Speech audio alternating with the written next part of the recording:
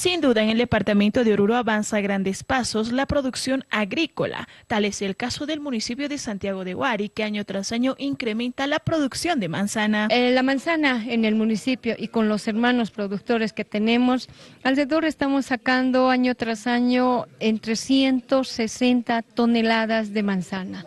Y esta manzana, en la cantidad de la tonelada que tenemos, también nuestros productores nos abastecen al desayuno escolar que el municipio también atiende en desayuno caliente. 45 productores que tenemos, 45 familias que se dedican a la producción de la manzana ecológica. Anualmente ese municipio produce 360 toneladas de manzana.